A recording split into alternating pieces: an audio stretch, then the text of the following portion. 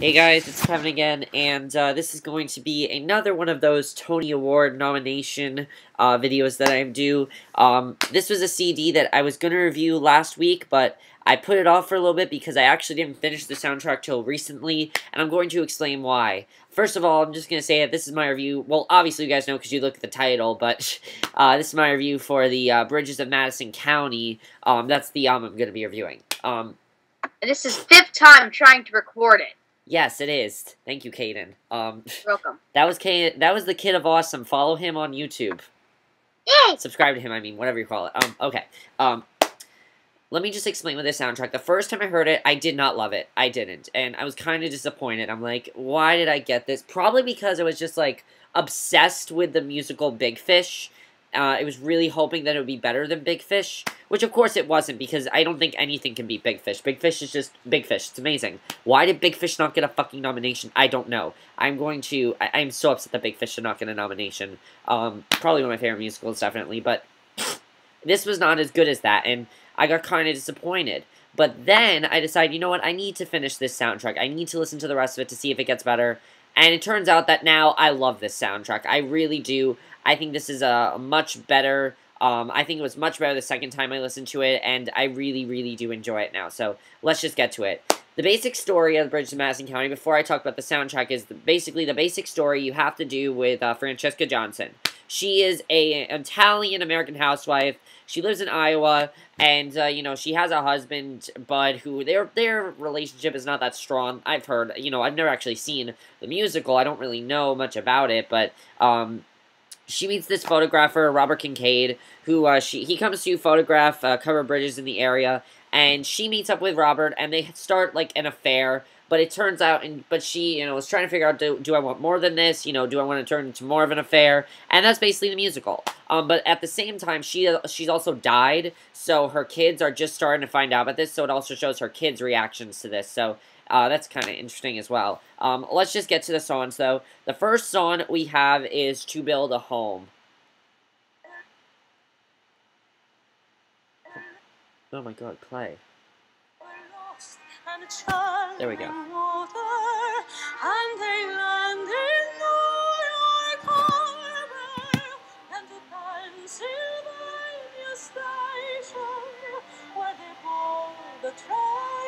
slices like a scythe through the fields.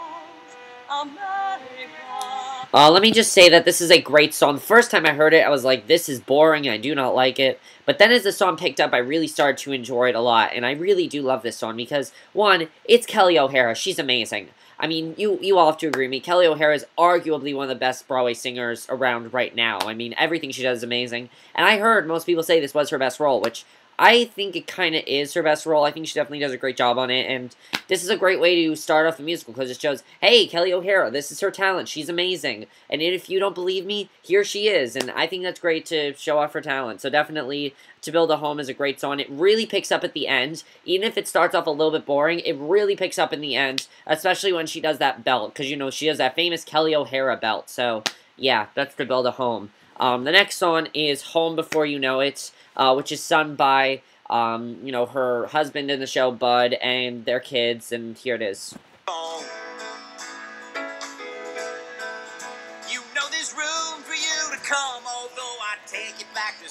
We got the cow, we got the kids, and then the tent, which I forgot. Um, overall, you know, this song, it's not my favorite or anything, but I do really enjoy this song. I, I like I like the way this song goes, and that's all I really have to say. The next song, though, this one I really love. It's when uh, Robert Kincaid's introduced, um, you know, Steve Pasquale, uh, the, and the song is called Temporarily Lost.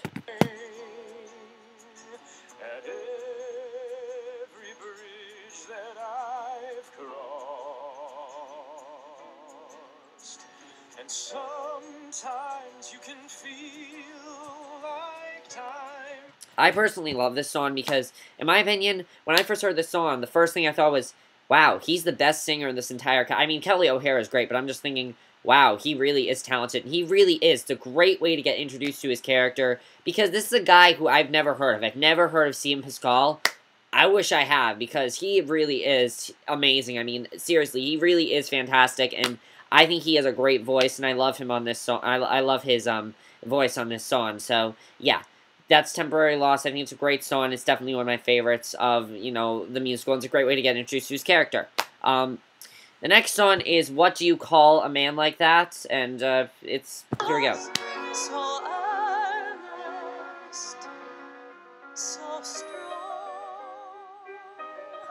Uh, this is not my favorite or anything, but I do enjoy because, of course, it's Kelli O'Hara. She does a great job on it, and I definitely really do enjoy this song. I think it's a good song overall. I really do enjoy it. The next song, though, when I first heard the soundtrack, as I said, I was bored by it. However, the one song that I love from it that I kept listening to over and over again was You're Never Alone. I love this song. I thought it was a great song. It's actually the first group song because, you know, Home Before You Know It really is like um, just a trio really type of song. Um, this song really is, though, all of them singing it. So, um, it's here's your number. You're never alone. I, I love this song personally. It, it's just fantastic. Turn the thresher on and then lays right down. So the hospital took off passes on. I know it ain't easy. This is a long road. Nothing is easy out there on your own. And I still love this song. I love the way they do this whole song. It's like basically the entire cast, and I think it's a fantastic song. Definitely one of my favorites in the entire cast, um, in the entire CD. I mean, entire soundtrack. It's a fantastic song, and I really do enjoy it. So that's "You're Never Alone." Whoops, I hit something. Um, the next song is another song that I really, really liked. I didn't listen to it as much at first, but now I really do love it. It's called Another Life. Now, this is a really great song because it's actually the song from Robert's ex-wife. That's that's who sings it. It's his ex-wife that sings it. It's actually a character that I heard was not in the movie, which I haven't seen the movie because I really don't give a shit. Um, but you know, um, the movie I heard was like really, you know, she was not in the movie. They added her specifically for this musical. She has this really beautiful song called Another Life. It's a great song. No Color him with mystery and color her with danger and expose them just enough to wish for more. And there was.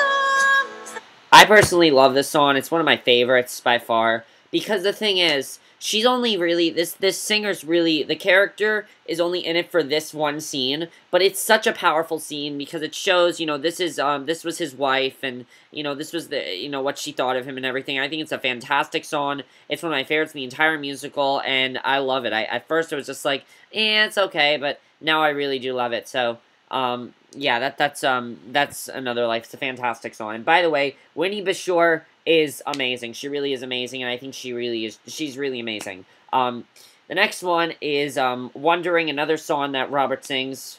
So, "Wondering."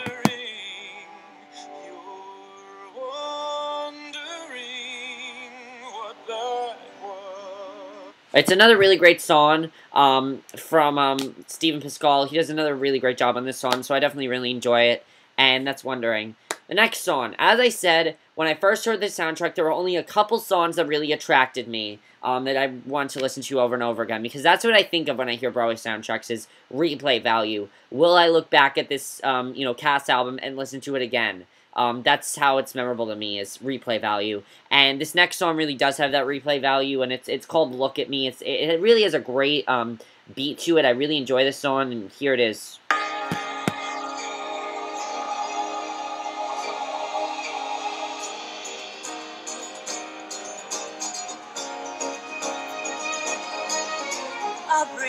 Starts to blow, and then what do you know? Something's different, I can't quite explain. Yeah, I really do enjoy this song. As I as I said, you know, I really love this song. It still is one of my favorites from this musical. I still think it's a fantastic song, and I really do enjoy it.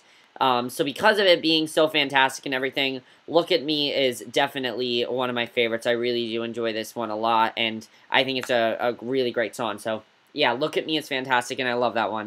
Uh, the next one is The World Inside a Frame. Um, it's another song, it's another solo from um, Robert, and yeah. You thought it was a bridge. You thought it was the water. You thought it was the sky. This one I really like. It's basically about him talking about like photography and art and things like that. Basically talking about love, but he's talking about art as well. And I think it's kind of cool the way they do that one. You know, it's not my favorite or anything, but I do enjoy this song. Um, you know, World Inside a Frame, I really do enjoy it. Um, the next one is actually a solo from, um, you know, uh, Hunter Foster, who, by the way, he does, as I said, he plays Bud in the show. Hunter Foster, I have heard of him before. Yes, he is Sutton Foster's brother. Um, also, speaking of that, you know, he was also in um, Hands on a Hardbody, which I really enjoyed that soundtrack. That came out after Tony's season, so that's why I didn't review that one to you. But I really enjoyed Hands on a Hardbody, and I think he did a great job on this song. It's called Something from a Dream. The world. And to me, she looks like. Yeah, Hunter Foster, I think, has a great voice. I really do enjoy him on this song, and I think he's fantastic on this song. So, yeah, I, I really enjoy this song a lot, and uh, so that's something from a dream. Um, the next song, the next song is um the uh is probably the weirdest song in this musical for whatever reason. I don't like this song. I don't know what it is. Get closer. It's where I've been heading. I've had so many dreams that you never knew. This song feels completely out of place with the show. It feels too much like a 50s song. This is supposed to take place in the 80s, and it feels too much like a, uh, a 50s a 50s song. I, I don't know what it is or whatever, but I just don't like this song for whatever reason. Um, but yeah, Get Closer, probably my least favorite song from this musical. I just don't really like it. Um, but yeah. The next song is the Act 1 finale, you know, the big Act 1 finale that really sets the tone for the show. Um, you know, that really sets the tone for Act 2. And that Act 1 finale is Falling Into You. All my life I have been falling.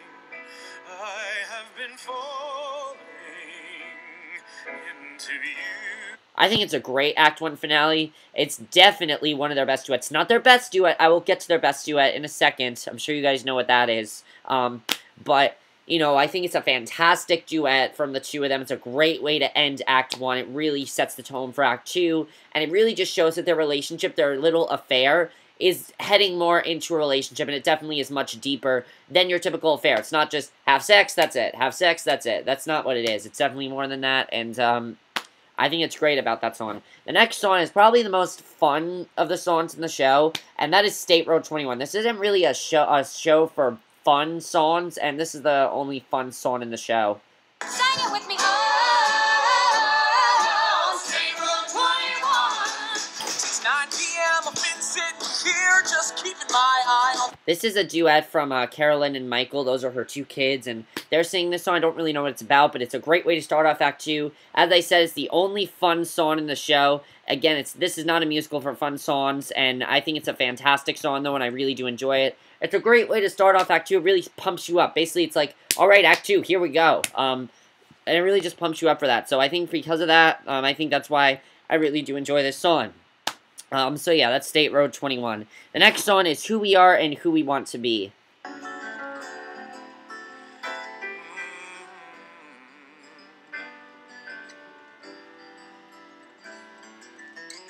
I'm being selfish. I should get my things and walk out of that door.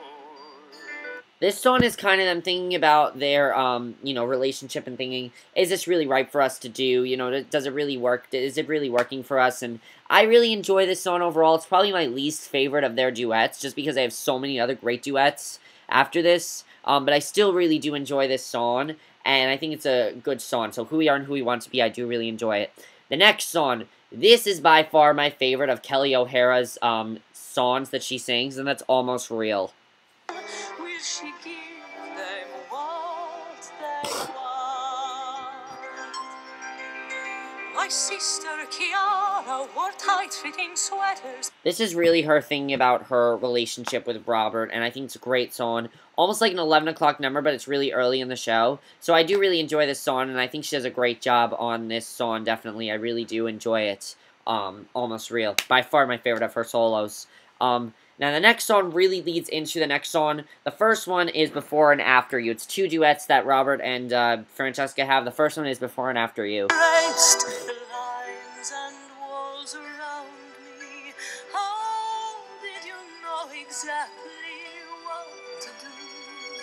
I think this is a great way to set the tone for the next song. Um, but the next song, by far, you know, I love Before and After You, but the next song, by far, is the best song in this entire musical. I'm sure you guys know what it is. It's, they always play it when they're showing promos for this song. When they show, like, um, ads for this song, or they show, like, they want to advertise the show, this is the song they always play, and they definitely deserve to do that because it's the best song in the show. One second in a million miles. I am risking something. No, let me just, let me get to the good part of the song. I, I just one second spinning by in just one second. Let me just say that this was the song that pulled me back into um, the soundtrack. You know, as I said, the first time I listened to it, I wasn't the hugest fan of it. This song pulled me right back in because I'm like, this is an amazing song. And I, I mean, oh my god, this song just, it's amazing. I mean, between Kelli O'Hara's voice and his voice, they sound so great on this song. It is by far their best duet, the best song of the musical as well because it really just, it's six minutes long, but it goes by so fast and it's such a great song. It's definitely my favorite on the soundtrack, and I just, I absolutely love this song. One Second a Million Miles, I love this song so much. It's so, so good. Um, definitely is the one they should show on all the ads and things like that because it's fantastic. Um, the next song is a little bit different from the others. It's it's Hunter Foster, and uh, I think it's another couple because I know there are three couples in the show, and uh, it's called When I'm Gone. Come what may, when I'm with my Lord in heaven, I look down